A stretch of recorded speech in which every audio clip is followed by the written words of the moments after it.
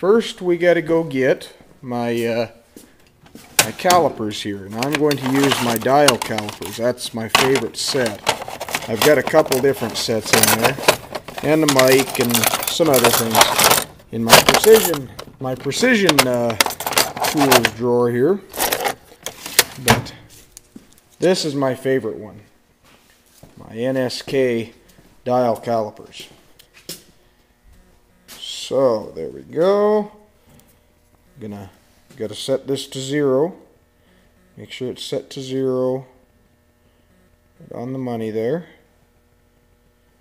And we just tighten this screw so that that doesn't move.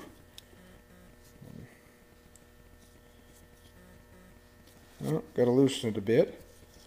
It's kind of hard to do with one hand, but we'll get her done. There we go. So, what we want to do, first thing, is we're going to check the bore on this. And that'll tell us what the outside diameter of that seal has to be to fit in here. And you always want about a thousandth or so over. So we stick this in here. And we just kind of turn a little bit. And we want to try and find center is what we're trying to do. Just work that one side till you find a nice center. And you... Oh, I apparently did not have a nice center found. There we go.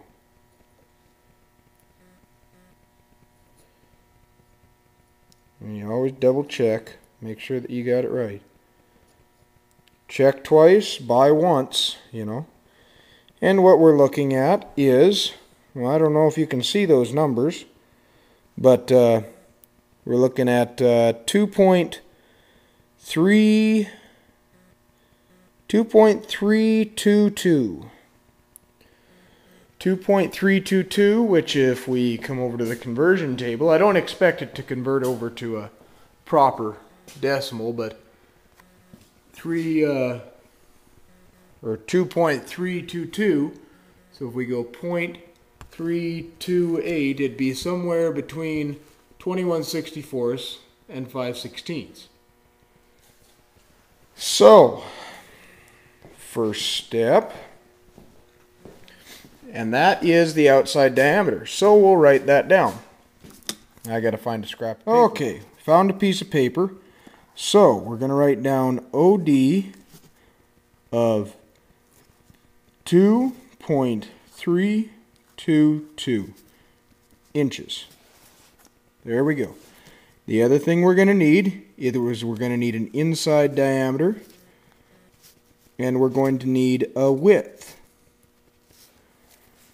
Now, well, I'll explain that later. So, I want to double check my readings here. Just make sure I got it right.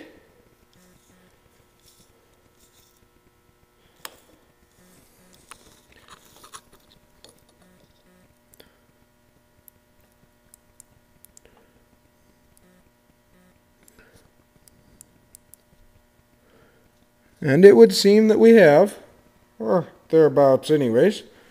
So, next thing we have to do is measure the inside diameter of the seal. Now this can be a bit of a tricky one. First thing you got to do is determine where your seal rides. Now in this particular shaft, the seal will ride on this surface right here. This is actually your bearing surface. So we'll take our trusty caliper. We're going to slide it on there like so and just slide it off. And we'll come up with 1.493 is what we're showing. And we'll double check.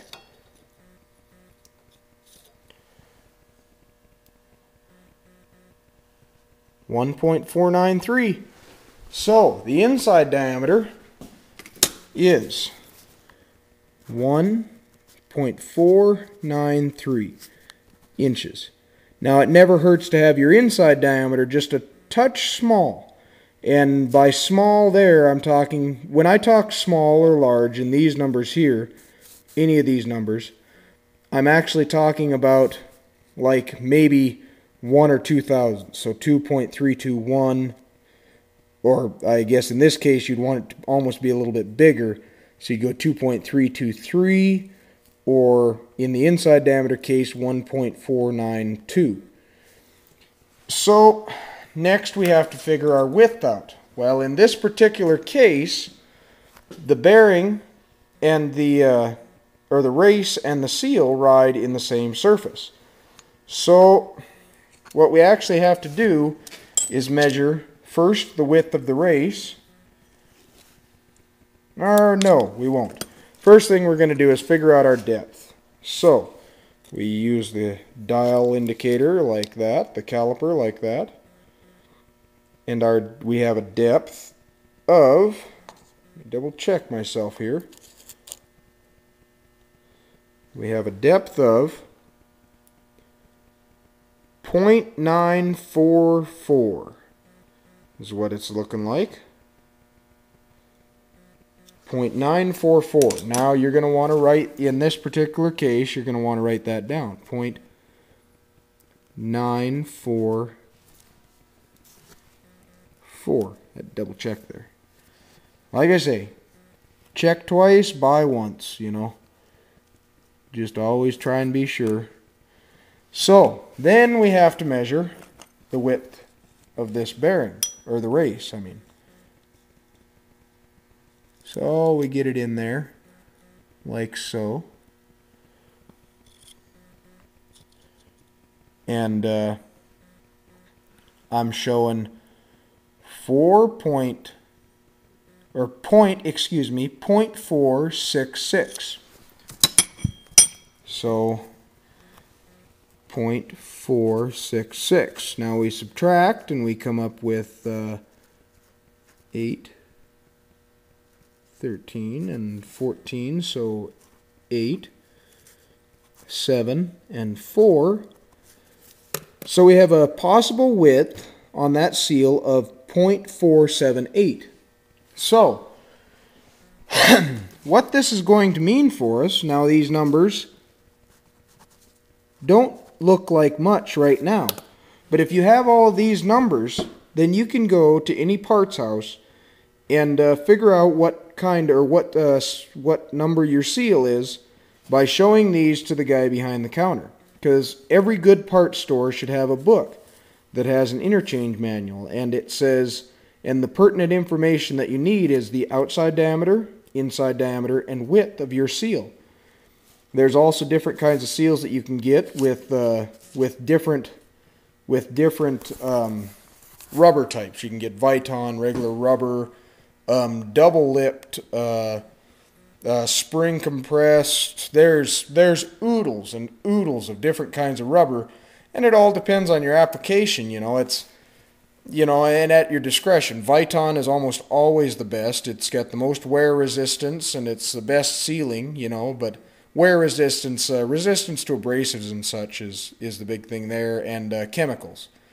And rubber is just you know generally going to be cheaper. They're good seals. There's nothing wrong with them. But anyways, so tomorrow I'll take this information here and these bearings into my local parts store, Heedall's, and I will see if I can't get this thing fixed tomorrow.